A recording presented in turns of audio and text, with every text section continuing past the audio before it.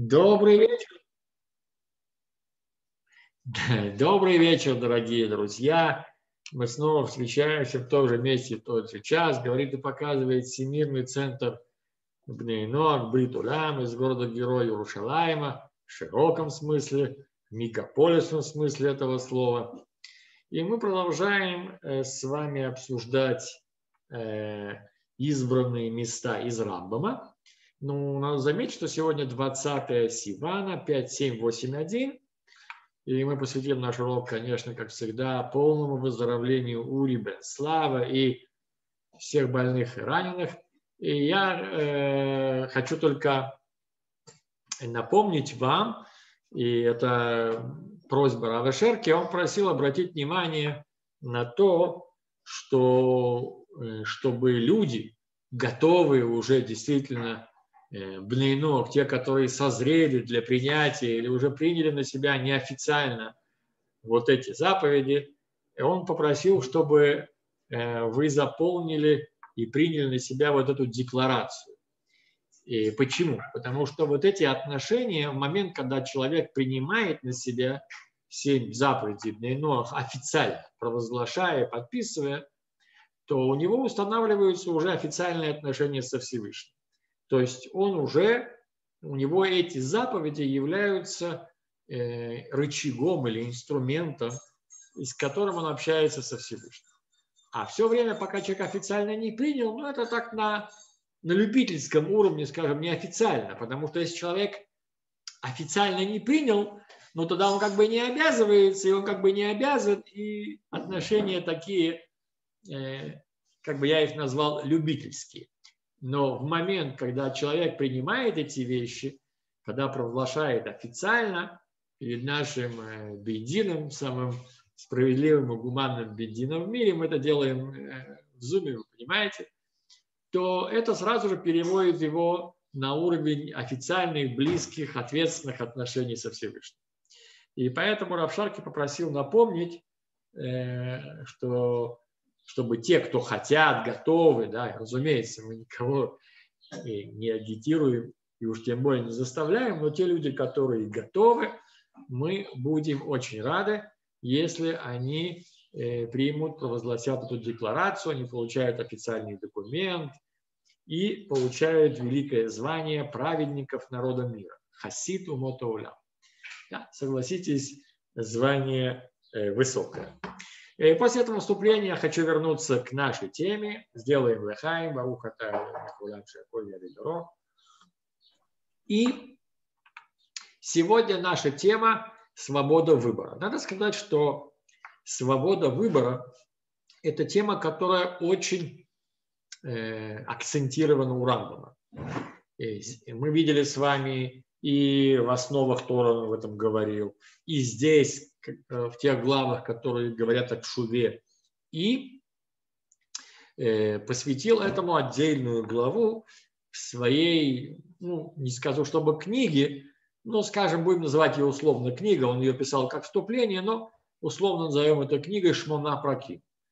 У нас она считается книгой, мы ее используем как книгу, это совсем небольшое, небольшое сочинение Рамбама, но чрезвычайно важное.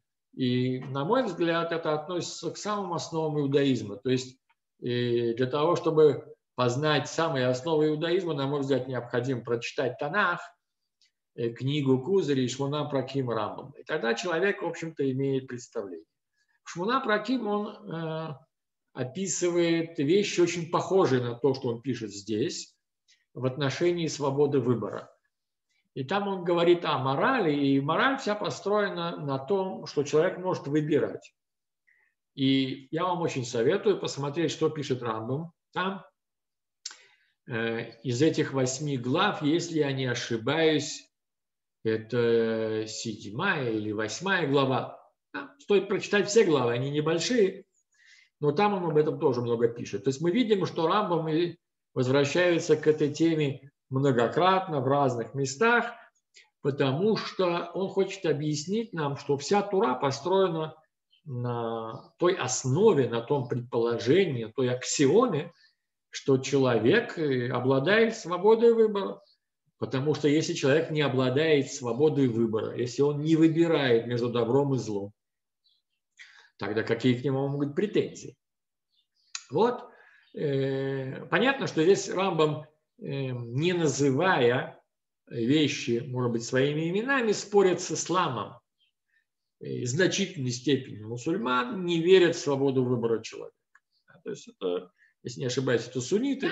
И понятно, что Рамбам с ними здесь полемизирует, ну, представить себе такое, что, чтобы Всевышний награждал или наказывал человека за то, что он не может не сделать, или за то, что он не, может, не, не может сделать, это вещь, которая э, просто совершенно нелогичная и аморальна.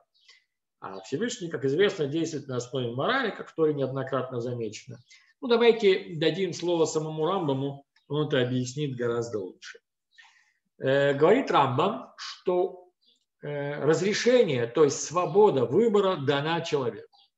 Если он хочет себя направить на правильный добрый путь и быть праведником, возможность, у него есть такое, такая возможность, такое разрешение, как говорит Рамбам. А если он хотел, хочет направить себя на путь зла и быть злодеем, эта возможность у него дана. То есть люди, они выбирают. Люди – это мы. Мы выбираем. Мы выбираем, и никто нас не заставляет. И, кстати, я хочу здесь только обратить ваше внимание, что тот выбор, о котором говорит Рамбам, это выбор моральный.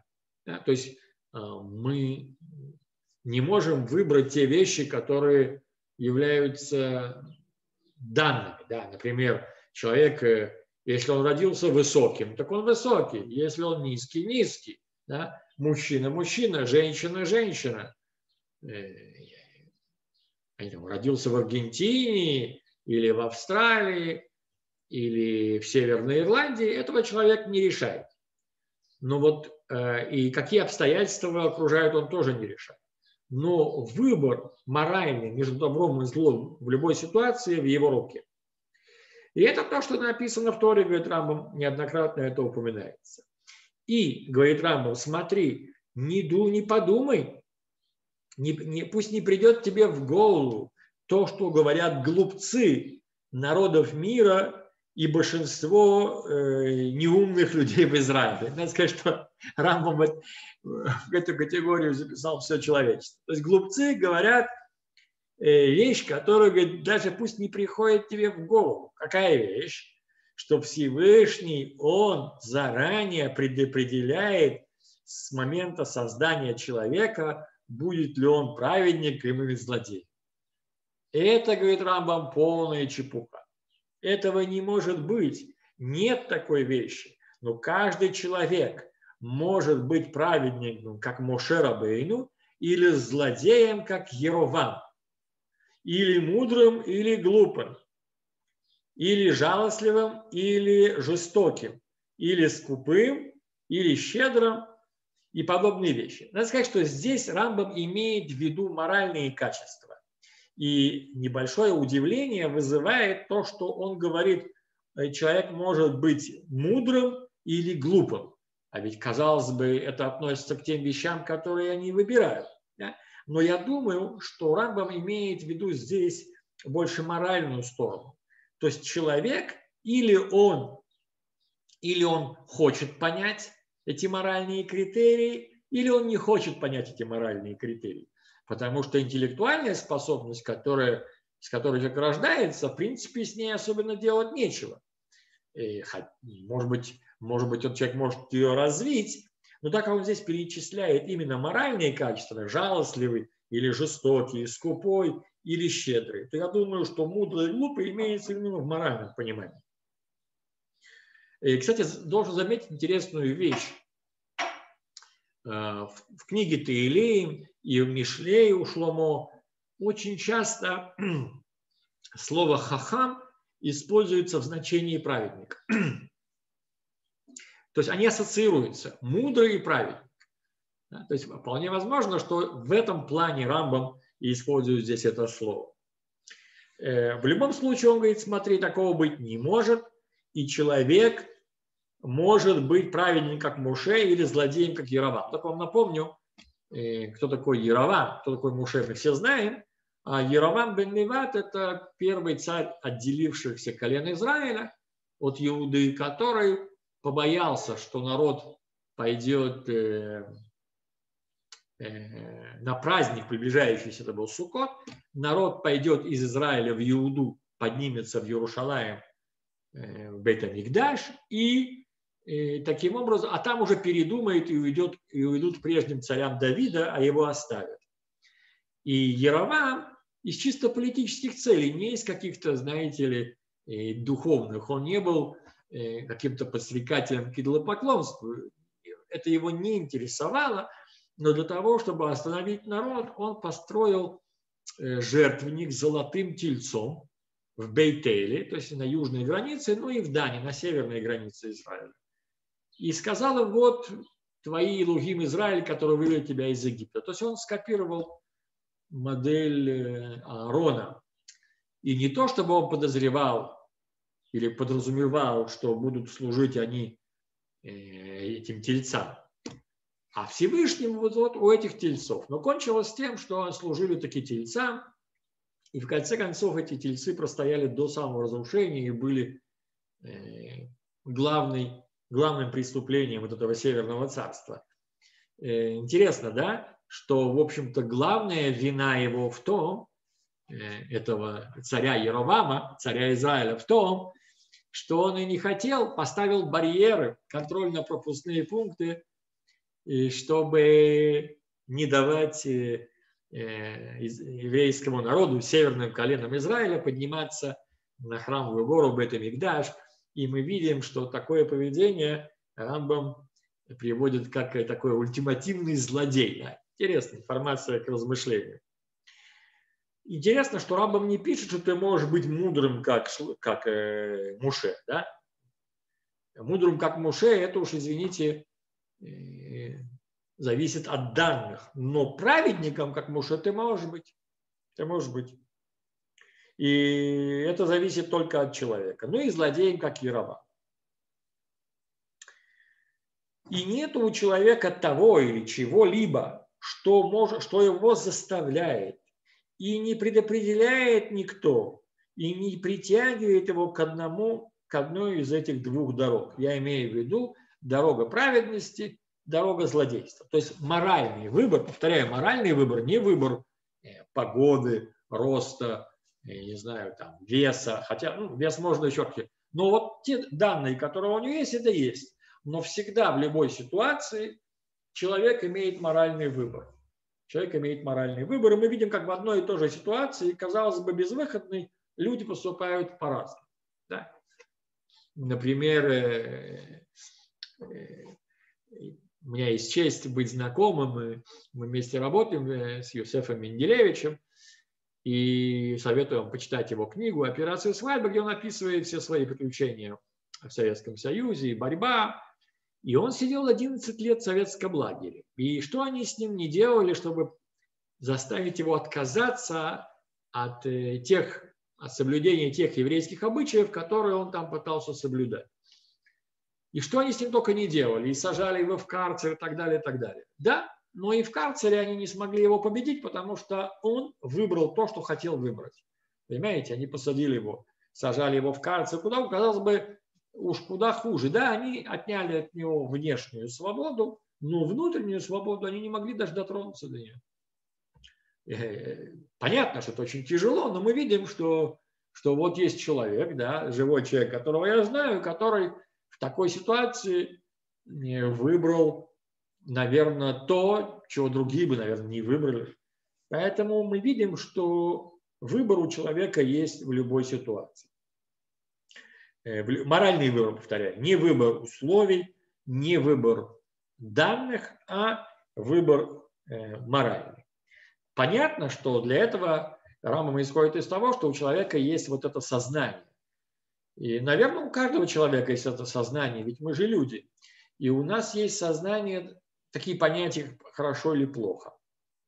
И даже Рамбам не говорит про заповеди, а просто про понятие хорошо или плохо. И мы знаем, что Есть у человека это сознание. А вот, например, у животных нету.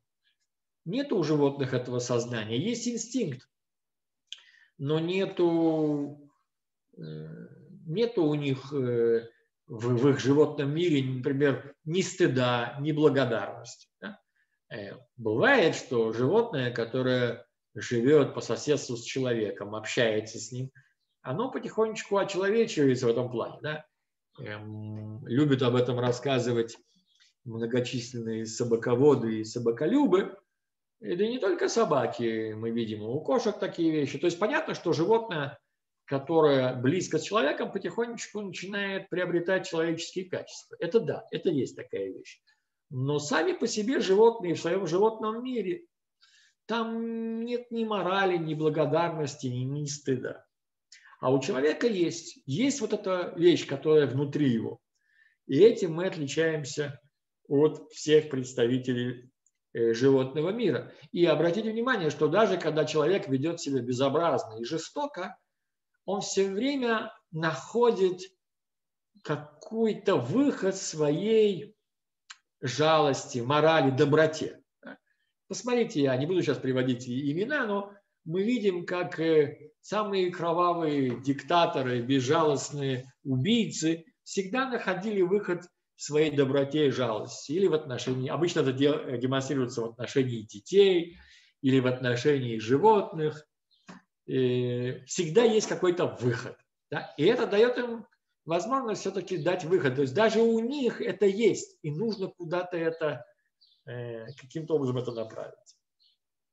Короче, у человека есть свободный выбор, и здесь Рамбам приводит цитату из книги, из, э, не знаю, книга, такая плач, называется «Плач Ермияу Эйха», где Рамбам, где, не Рамбам, конечно, где э, Ермияу говорит «Мипи эльон летеце араот веатов», то есть из уст Всевышнего не выйдет ни зло, ни добро. Что значит ни зло, ни добро? Имеется в виду, что он не решает за кого-то, чтобы он сделал добро или зло.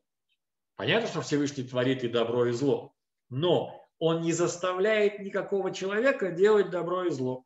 Там это из контекста понятно, потому что сейчас Рамбам приведет продолжение, что некого, не на кого нам, э, некого нам обвинить, не на кого переложить свою вину за совершенные нами поступки. И поэтому продолжение, он же не просто взял это из Иха, из третьей главы, продолжение вот этого посука, что будет жаловаться человек живой ему свои преступления. То есть кому ты жал, на кого ты жалуешься? Кто э, сделал то, что ты сделал? Кто несет ответственность? Тебя даже заставил, тебя принуждали? Нет. И и поэтому, говорит Рамбам, он и продолжает Ирмияу, поищем свои пути, исследуем их, проанализируем и вернемся к Ашем. То есть никто нас не заставлял, мы сами сделали все то, что привело нас в это положение, жаловаться не на кого.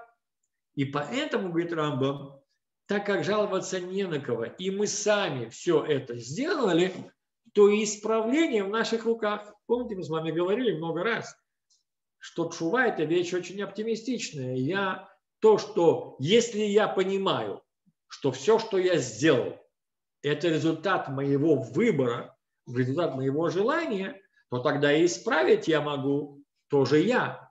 Понимаете, если бы я сказал, ой, да, как люди говорят, это я черт попутал, это Ецарара меня с толку сбил. Это все для того, чтобы просто сказать, я тут ни при чем. И никакой черт и никакой Ецарара, это все я. Я захотел то-то, то-то и сделал то-то, то-то. Но если я сваливаю это на кого-то, то я исправить этого не могу. А если я понимаю, да, я это совершил, так я могу и исправить. И пример, конечно, наиболее яркий, это, это царь Давид. Помните, царь Давид, у него была ситуация очень некрасивая с Батшевой, описанная в книге Шмуль, не буду пересказывать. Он э, ее мужа послал на войну, так, чтобы его убили, а ее взял себе в жены. Короче, история жутко некрасивая.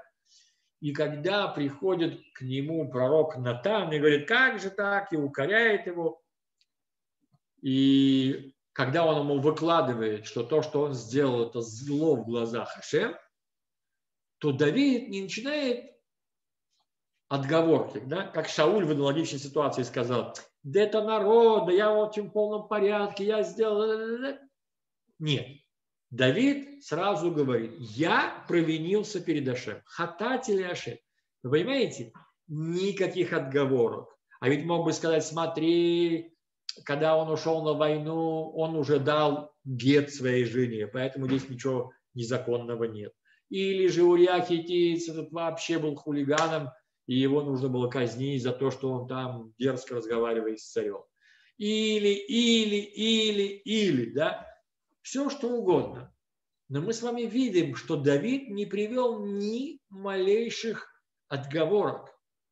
Ни на кого не свалил, ни на Батшеву, ни на Урию, ни на Юава, ни на кого угодно, да? Ни на кого. А сказал, я провинился. Но когда он принял эту ответственность на себя, это и позволило ему совершить шу. Понимаете? То есть, когда я принимаю на себя ответственность за свои поступки, это означает, что я могу их исправить.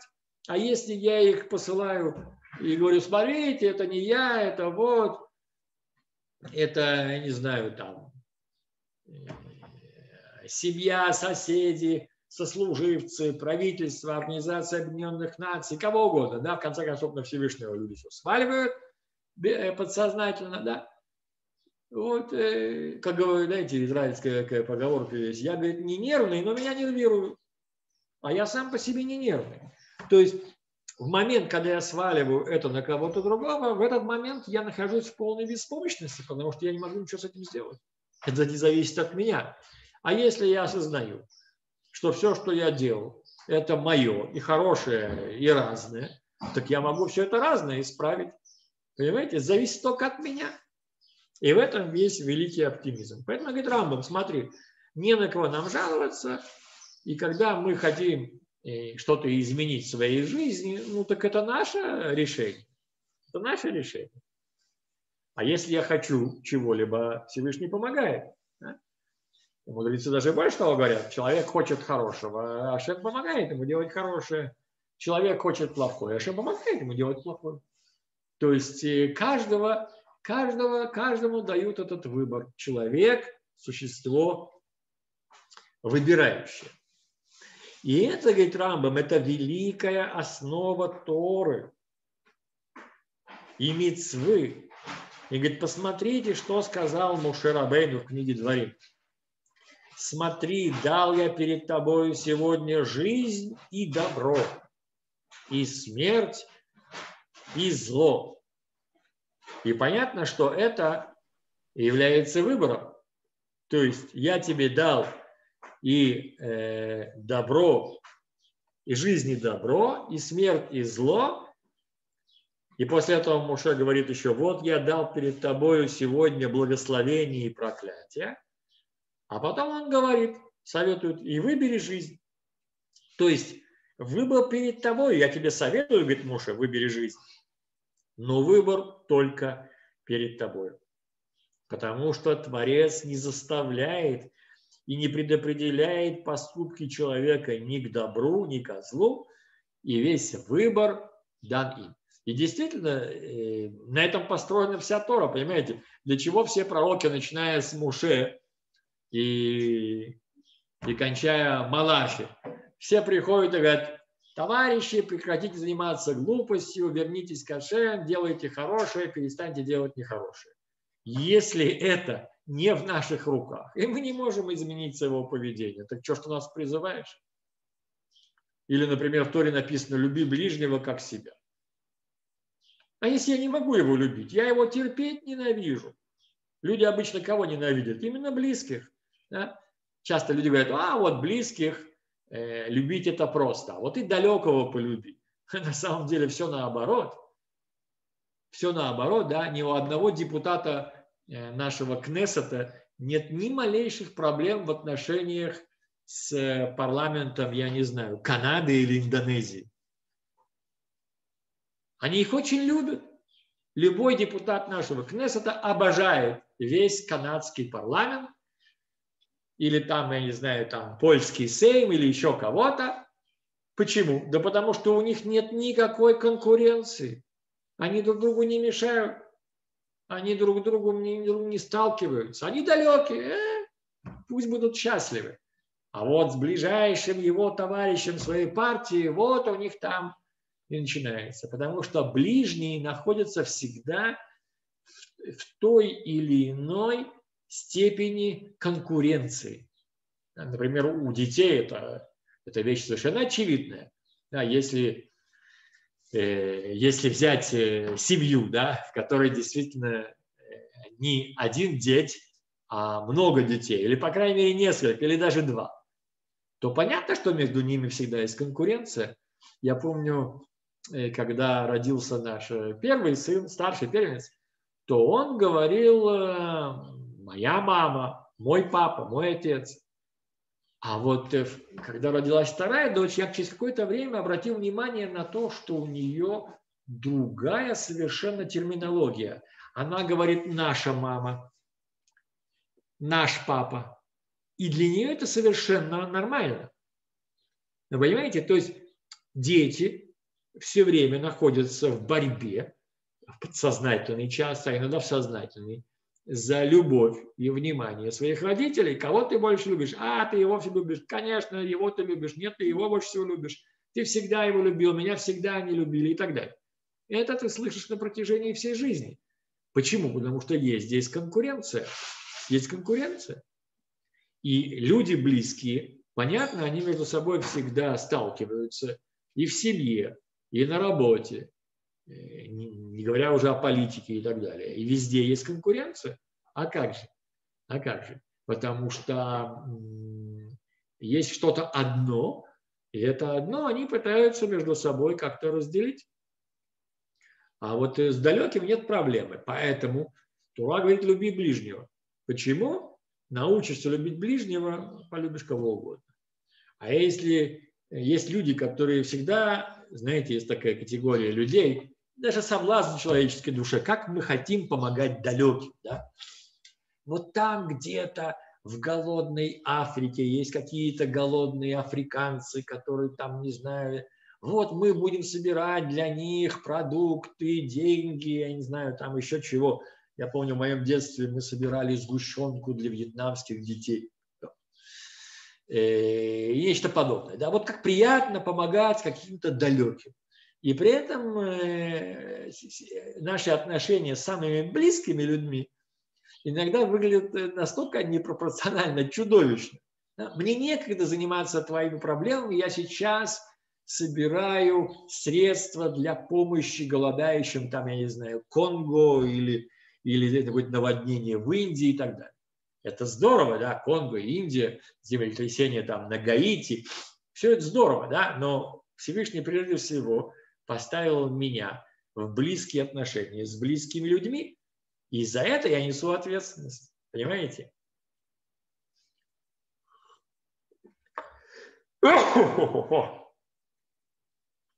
Несу ответственность.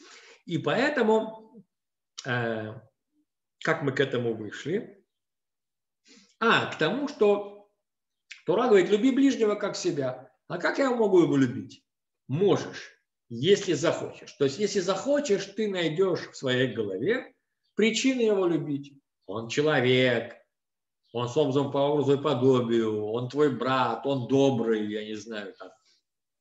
он чемпион Берлина по теннису, не знаю, у каждого свои какие-то э, причины. Но я могу всегда найти, за что его любить. Конечно, гораздо легче найти, за что его не любить. Но мы видим, что Тура исходит из того, что это в моих руках. Это исходит, это, это в моих руках. И поэтому Всевышний никому не говорит и не предопределяет быть ему злодеем или быть ему праведником. И на этом, говорит Рамбам, строится вся наша Тура. Обратите внимание, да, часто, когда э, мне приходилось говорить о свободе выбора, то люди э, говорят, а как же, ведь есть мецвод. Тура говорит, делай так, делай не так. То есть люди как раз понимают это, это совершенно обратно тому, как это понимает Рамбам. Люди говорят, раз есть мецвод, вот это делай, вот это не делай, значит, у человека нет выбора. А Рамбам говорит, наоборот, если Тура тебе говорит, так делай, а так не делай, значит, она исходит из того, что у тебя есть свобода выбора. Поэтому мицвод, заповеди, запреты, все то, что Всевышний, все те претензии или желания, или пожелания, которые он к нам предъявляет, это все свидетельствует о том, что мы свободны. Мы можем сделать так или не так. И если бы не было такого, если бы не было свободы выбора у человека, то Торе не было бы места, говорит Рамба.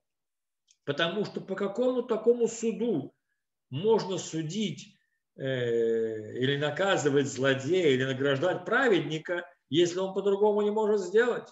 А ведь написано э, в Торе, это слова Авраама, судья всей земли не сделает суд. То есть мы исходим того, что Всевышний справедлив. Но если у человека нет свободы выбора, он не мог не сделать так, или он обязан был не делать так, то какие к нему мои претензии? Какие могут быть праведники и какие могут быть злодеи? Вся мораль, еще даже не говоря про Тору, вся мораль отпадает. Ты не можешь человека не похвалить, не предъявить претензию. А я, говорит, не могу по-другому. Я вот такой, так это у меня работает. Но мы видим с вами, что вся Тора, которую Всевышний нам дал, построена на том предположении, что человек, он выбирает. Может сделать так, может делать не так. Поэтому к нему можно предъявить претензии, требовать или наказывать. Есть в этом смысл. А что же мы тогда... Э, можно, это знаешь, иначе это было бы, как мы злимся на какую-нибудь муху или комара. Да? Мы говорим, ух, какая такая, такая нехорошая эта муха или комар. Да? Мы это говорим, конечно, условно, потому что мы злимся на них, но мы же понимаем, что муха или комар ничего не выбирают. Они устроены так. Мы, мы, мы на самом деле не считаем муху злодейкой или комара злодеем. Конечно, они кусаются, мешают, мы их изгоняем. даже если животное э, тебе докучает или делает неприятные вещи, ты можешь даже этих насекомых убивать но и, и мы сердимся на них, но мы понимаем умом, что они не выбирают это. Просто у них такая природа. Это как автомат, да, ты же не будешь на, на, на робота сердиться, какой нехороший злодейский робот. Люди его так сделали, он так и работает. А на человека, да, у человека мы можем злиться и осуждать злодея, и на, и хвалить праведника. И мы видим, что вся Тура полна этим. Вот э, Лот пошел туда, в этот дом, а в доме люди злодейские, нехорошие, и вот за это они наказаны. Да? А вот, например, э, Ноах был праведником и так далее, и так далее. Мы видим, все время противопоставляется. А иначе мораль не имеет никакого смысла. И поэтому, говорит э, э, Рамбам, а, и вот здесь Рамбам подходит к очень э, серьезной проблеме, которая всегда, серьезному вопросу, который всегда встает вот в этом месте. Он говорит, окей, но давай немножечко займемся философией. Да, всегда здесь возникает философская трудность. Ведь смотри, если ты говоришь, что у человека есть полная свобода выбора, и никто не предопределяет, Всевышний не предопределяет его выбор. А получается, что Всевышний не знает будущего. Если ты говоришь, что у меня есть выбор, значит, он не знает, как я поступлю. А если ты говоришь, что он знает все, что будет, тогда значит, у меня нет свободы выбора. Как же ты эти вещи можешь объяснить? На это Рабам говорит, прежде всего, знай факт, что действительно наше все делается по его воле, и при этом наши дела, наш моральный выбор предоставлен нам. Как это в голове своей совместить? Он говорит, смотри, э, э, секундочку. И он приводит много доказательств, да, например, пророки говорят, из вашей, из вашей руки было это, вы это сделали, да, это говорит Малахи, или Ишаяу, также они выбрали пути свои. То есть мы видим из того, что Всевышний говорит через пророков, что он говорит, это был ваш выбор, и к вам претензия. Как же эти вещи совместить? Он говорит, смотри, когда ты говоришь о знании, да, вот я говорю знание, что такое знание? Я, когда говорят знание, я имею в виду человеческое знание. Вот как я знаю, это я понимаю. А когда ты говоришь, что Всевышний знает, понимаешь ли ты это понятие? Нет, говорит раба. Почему?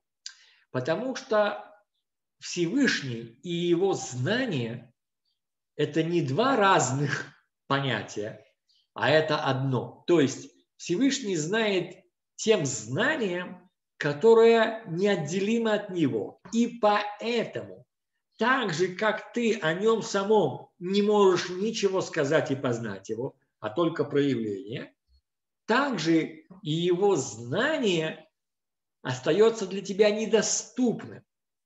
Поэтому, когда ты говоришь, вот есть его знание, и при этом у меня есть свобода выбора, и эти вещи противоречат, они противоречат только потому, что ты его знания меряешь нашими человеческими мерками, как будто бы он знает нашим знанием. А наше знание ограничивает, да, то есть если я знаю, что выберет, я не знаю, там, товарищ такой-то, то действительно это очевидно, что он не сможет выбрать по-другому, поскольку я точно знаю, как он поступит.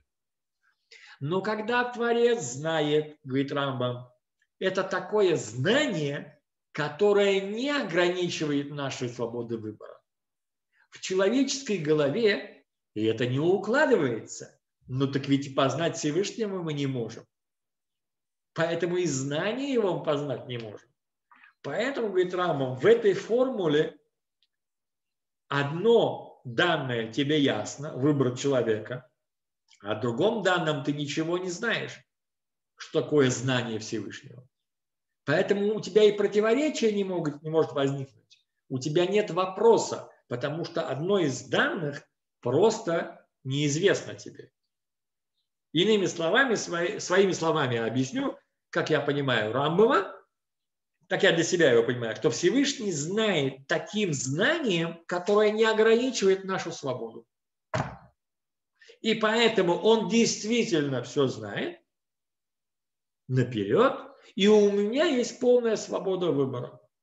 Укладывается ли это в моей голове, это не имеет никакого значения. Но с другой стороны, если я знаю, что его знание, оно не такое, как мое, тогда я могу понять, что существует такое знание, которое не ограничивает свободу выбора. В любом случае, две вещи эти работают. Как сказал Раби Акива в трактате «А вот», э, Аколь едуа варешут нетуна. То есть все известно Всевышнему, а право выбор дан. И здесь только Рамам объясняет, что в этой формуле право выбора твое нам, мне понятно, а вот знание Всевышнего, он знает наперед, я не понимаю, и поэтому противоречия на самом деле здесь нету. Вопрос не возникает. Вокруг этих слов Рамбама тоже были многие обсуждения. Некоторые мудрецы поняли, что Рамбам как бы говорит, что он поднял вопрос, а не дал на него ответ. Но на самом деле мы видим, что Раман говорит, что вопроса нет. У тебя не может быть вопроса, поскольку в, одном, в одно данное тебе не ясно.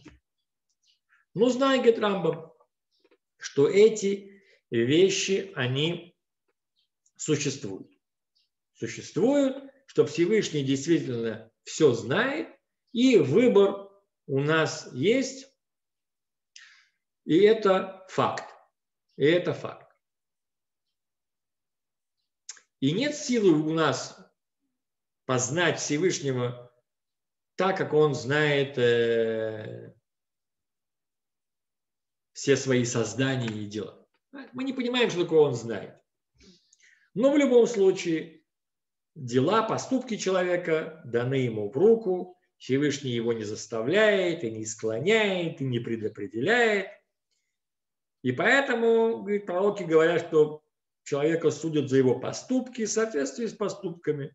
Если или этих поступки хорошие, или плохие, и это, говорит, та самая основа, на которой стоят все слова пророков, он говорит. То есть все пророчество, начиная с Торы и кончая там, я не знаю, Малахи и так далее, все это на том стоит, на той основе, все это базируется на этом краеугольном камне, что человек обладает свободой выбора. Уберешь этот краеугольный камень, вся Тура падает. Это то, что говорит нам Рамбам. А теперь я хотел бы ответить на ваши вопросы, если таковые имеются.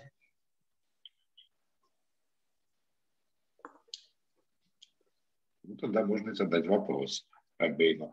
Вопрос об ограничении свободы выбора. Мы на примере фараона же видим факт, э, когда ограничение свободы выбора. Вопрос, насколько это вообще частое явление в Танахе хотя бы? О, это отличный вопрос.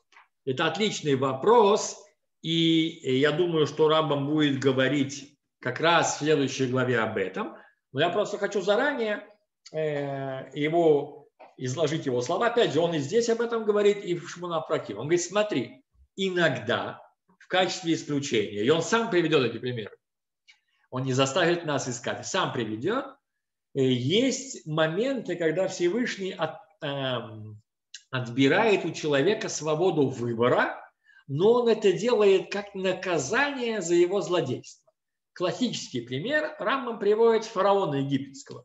Он говорит, не думай, что Всевышний наказал фараона за то, что он отказался послать сынов Израиля. Потому что там, по крайней мере, так Рамбам понимает, есть другие объяснения, но Рамбам понимает, что Всевышний забрал свободу выбора, укрепил сердце фараона. А за что же он наказал? Говорит, не за это наказал он его, а за все его предыдущие угнетения и порабощения. Вот то, что он там угнетал сынов Израиля, несчастных пришельцев, которые ничего плохого ему не делали, вот за это он отвечает. А за то, что он не отпустил, говорит, там уже не мог. Есть еще много других примеров, Рамам их приводит, что иногда Всевышний отбирает у человека свободу выбора как наказание за его злодейство. Но обратите внимание, что это является всегда результатом выбора. Э, на что это похоже? На наркомана. Да? Например, наркоман или алкоголик. Когда он начинает пить алкоголь, не то, что пить алкоголь, а когда он начинает алкоголизм, да, он не, не, не чувствует никакого порабощения или там принимать какие-то наркотические средства. Человек не чувствует изначально никакого порабощения а просто он думает, дай попробую, это кайф и так далее, и так далее. И он принимает, принимает, приучается, приучается, дозы повышаются, повышаются. На каком-то этапе он действительно теряет свободу выбора. Он уже не может, он уже зависим. Но эта зависимость является результатом его выбора. Например, сыновья Или в Шило. Сколько Всевышний предупреждал э, Или разберись со своими сыновьями. Но он их и упрекал там, и был. В конце концов, Ашем сказал, ребята, все, они погибнут. Но это после того, как он десятки раз призывал и предупреждал, а они продолжали, а папаша не реагировал. Ну, на каком-то этапе все. Но обратите внимание, что это не просто вдруг так, а это, это результат выбора.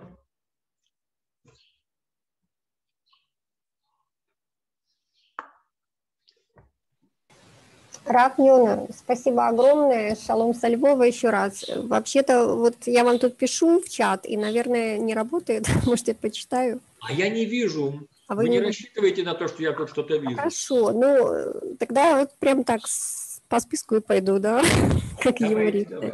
Вот с самого начала. Так, так все замечательно, но, Равьон, пожалуйста, вот вы забыли спросить, а какое сегодня число? Так приятно всегда слушать, когда вы спрашиваете, а какое сегодня число? 20 Силана, насколько я помню, правильно? Я, я спрашиваю этого Махон Мири, когда передо мной а, сидят да. живые ученики. Ну, это а очень... здесь я сам говорю. да. Вот тут относительно животных. Я вот написала, как быть с тем, что в животном может находиться часть души вот кого-то, кто должен был спуститься в такое тело. Вот, например, была история, когда собака не отходила от одного человека. И по совету одного равина такой человек подошел к собаке, трижды сказал, я тебя прощаю, и только после этого она его оставила в покое. Вот получается, что в этом случае нам может казаться, собака как бы очеловечилась, как вы сказали, да, а в реальности что получается, нечто есть, что вот э, является не только животной душой, или как? Смотрите, э, вы говорите про то, что называется гильгуль, да, то да, есть да. Э, человеческая душа она там в результате всех этих перипетий оказалась собаки.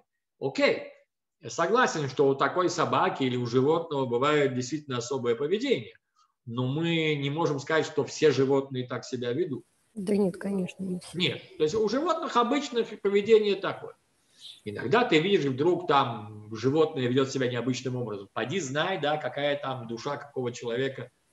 Но я говорю про животных даже обычных, Э, я вам приведу пример. Э, вот э, есть у меня любимый рыжий кот, который здесь крутится вокруг дома. И интересно, что и не только он, там полно кошек, но мы их там подкармливаем, бросаем, и они все это едят в том месте, куда все это упало. На каком-то этапе мы заметили, что наш этот любимый кот, которого зовут Рыжик, он ведет себя интересным образом.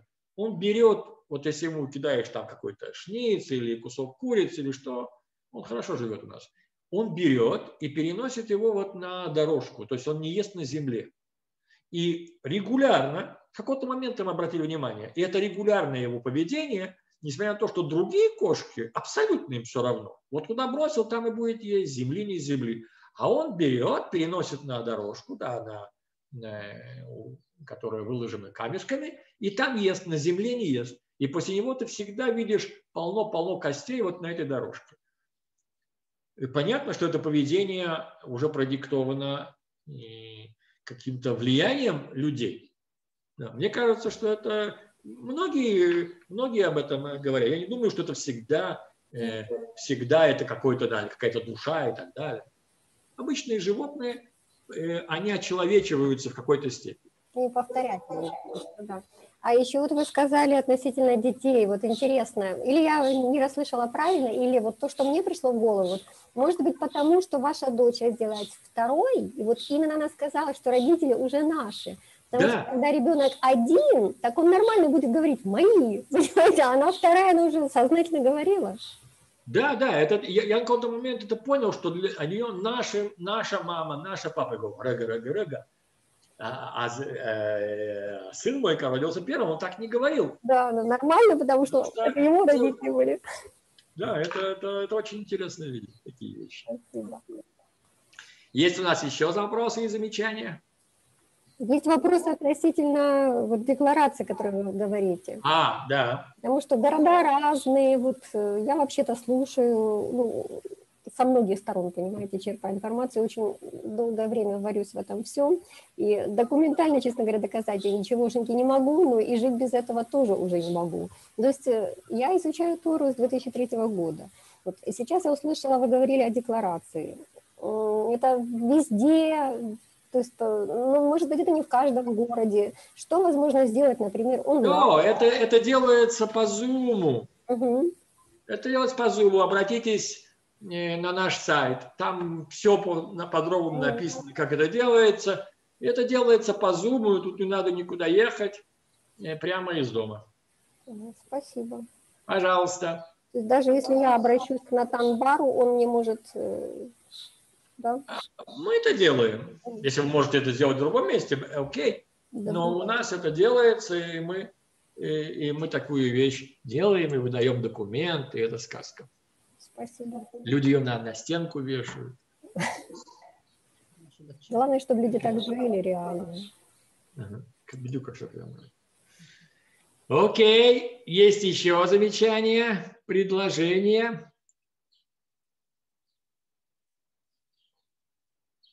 Окей, вижу, что э, на данный момент нет. Если появится, вы знаете, куда писать, шлите телеграммы. И тогда всего хорошего и до новых встреч в эфире. Я надеюсь, что не только в эфире, что мы встретимся очно. Э, счастливо, до свидания. Спасибо огромное. Спасибо, спасибо.